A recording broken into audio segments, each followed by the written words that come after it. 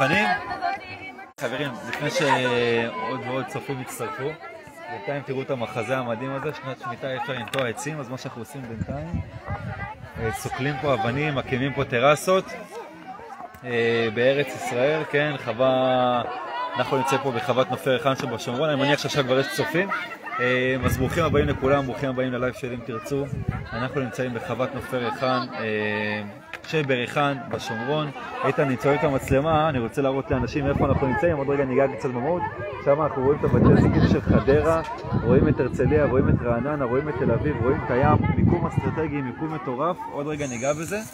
אה, מה שאנחנו עושים היום בעצם, הגענו יחד עם אה, כמה בתי ספר לסקול פה אבנים ולהקים פה טרסות, כי החווה של, של דוקטור יחיאל שרבי, שהוא חבר יקר מאוד של אם תרצו, עוברת פה לצערנו אה, פורענות של אה, כל מיני ערבים ברשת הפלסטינית שמתרגלת את המקום שלו ומנסה לשלוח לפה כל מיני פרות ו... ואנשים שיבואו ויהרסו לו את המקום המדהים שהוא בנה, באמת תופס את הארץ בצורה נפלאה. עזב את תל אביב, עזב את המרכז, הגיע לפה ובנה לכאן את מרכז חייו.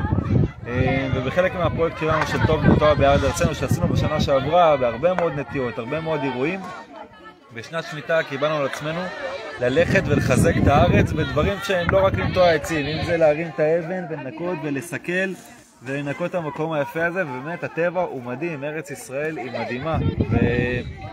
וניגע רגע קצת במהות, כן, מה אנחנו עושים פה בעצם. תראו, מעבר לדיון. ההיסטורי, כן, הר עיבל, זה ממש בזווית העין שאנחנו רואים את זה פה, איפה שיהושע בן נון הקים את, את המזבח, אה, הר הברכה, הר גריזים, מעבר, לדיון, מעבר לזכות ההיסטורית, מעבר לזכות החוקית על ארץ ישראל, כן? קיבלנו את ה... בואו בוא לא נשכח שקיבלנו את הארץ הזאת בהסכמי סן רמו ב-1921, מעבר לצדק. יש פה גם, כשאתה עומד במקום הזה ואתה רואה בעצם את כל מישור החוף, אתה רואה את כל האוכלוסייה, כן? 70% מאוכלוסיית מדינת ישראל יושבת בין גדרה לחדרה, כן? אנחנו מדברים פה על 70% מאוכלוסיית מדינת ישראל שיושבת על המישור החוף הזה ועל בתי זיקוק במקומות מאוד מאוד אסטרטגיים ובסופו של דבר מי שמחזיק את הרצועת הביטחון הכי חשובה למדינת ישראל שבשומרון זה אלו, זה אותן חוות, אותן חוות אסטרטגיות שהרשות הפלסטינית יודעת כמה הן קריטיות והיא יודעת כמה הן חשובות ומנסות לתפוס את המקומות האלה ולא סתם לנסות להפריע לחוות. ולצערי אחרי שהפסיקו כבר להקים את החומה במגדל ואחרי שהפסיקו להקים את היישובים ביהודה ושומרון אנחנו רואים איזה יישוב אחד פעם בעשר שנים ואנחנו קופצים כאילו מה, איזה דבר יפה קרה פה, שזה לא טוב, אנחנו צריכים שיהיו יותר ויותר, אז החוות הן כיום ממלאות את, ה, את החוסר האסטרטגי הביטחוני הזה לטובת מדינת ישראל כולה, כן? כשאני בכוונה אומר לטובת מדינת ישראל כולה, כי בסופו של דבר גם לאזרח התל אביבי וגם לאזרח מהרצליה או מחדרה או מחריש יש את האינטרס שיחיל שבי ושהבנות שיהיו פה יסקלו את האבנים וינטעו פה עצים, ויבואו לפה אנשים מכל רחבי הארץ. אני כבר מגיע!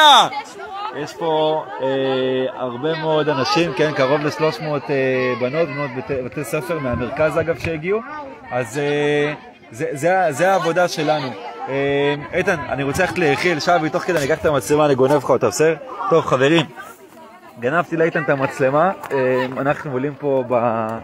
בטבע, אני חייב לומר לכם, המקום פה מדהים, אני קורא לכם להצטרף, להתקשר ליחיאל, מי שירצה פרטים, הוא יכול כמובן אחרי זה לקבל אותם ממני. אה, אתם יכולים לשלוח לנו הודעות בפייסבוק ואתם יכולים להגיע לכאן לטיולים, תראו את הכלניות. אה,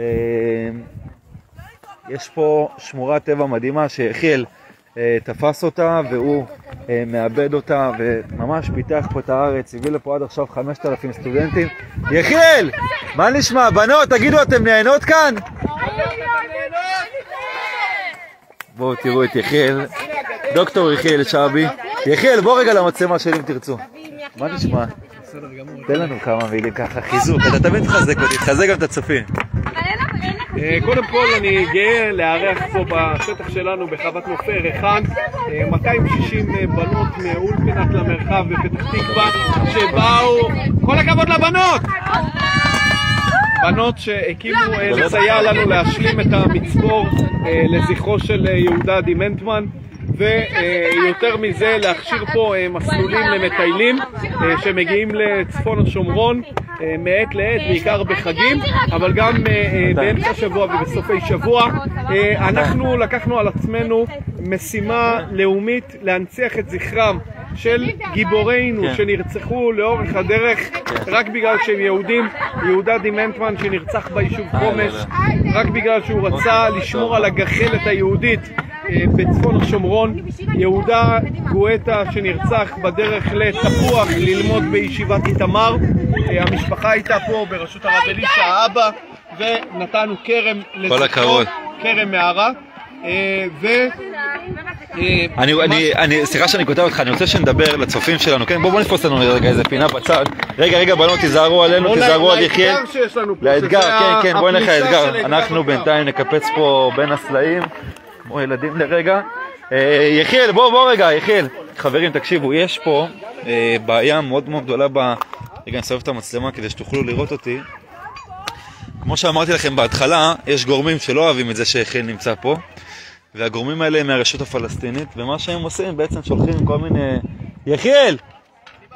שולחים ערבים מהכפרים השונים עם אה, פרות, והם נכנסים לתוך המקום הזה, לתוך השמורת טבע הנהדרת שאתם רואים כאן, והפרות לצערנו מפרקות לו את, ה...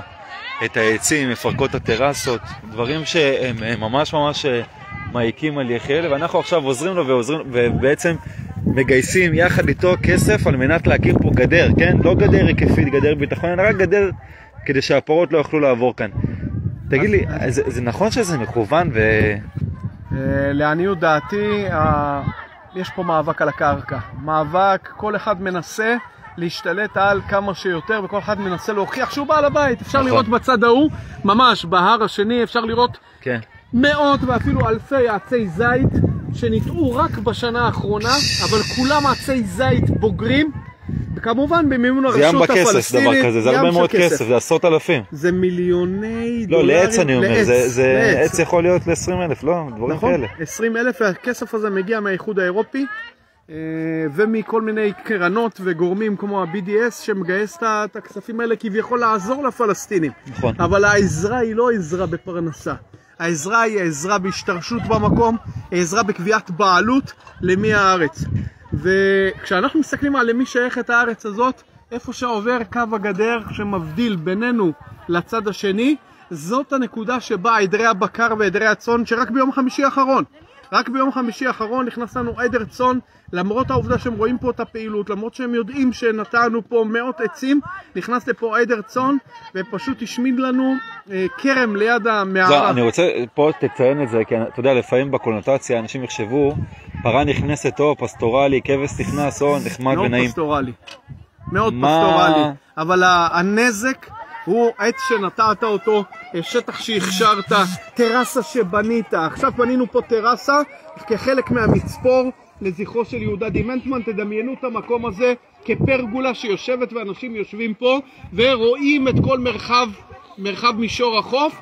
אתה בנית את הדבר הזה בסיוע של כל הבנות האלה, וממש בעוד אה, שעה, שעתיים נכנס לפה אה, עדר של בקר והוא פשוט מפרק את כל המדרגה, את כל הטרסה הזאת. שעשית. הוא פשוט מפרק הכל. הוא נכנס לכרם הענבים שנטעת, והוא לא יודע מה זה הכרם של מי אז מה אתה. צריך? בוא, דבר איתנו אני תכלס. זקוק פה לגדר שתסגור בצורה מוחלטת את המקום. רואים את הגדר הגדר הזו? שפה שיורדת למטה כן, לכיוון כן, הוואדי. הבזנת אחד כזה עולה 20 שקלים, צריך להבין. גדר כזאת של 100 אה, מטר עולה 850 שקלים, ואנחנו צריכים לגדר פה, יש לנו 800 מטר. את כל הצד ההוא של ההר אפשר לראות, חדי העין יבחינו, שכל ההר מפה ועד לקו הרכס כבר גידרנו, ואת הצד הזה כבר גידרנו. נותר לנו להשלים את הצד הזה ולהתחבר בין שתי הגאיות שמובילים לכיוון ברטעה. אה, 17,000 שקל. אנחנו, אנחנו עובדים על זה, אה, ויחיאל, תשמע, קודם כל חשוב לי להגיד לך, כל הכבוד, באמת, מה שאתה עושה פה זה, זה השראה, ואני רוצה לקרוא לציבור להגיע לכאן, כן, לבקר אותך, לראות את המקום, שיהנה מזה. אז זה גם אפשר להגיע לפה אה, בתיאום איתי,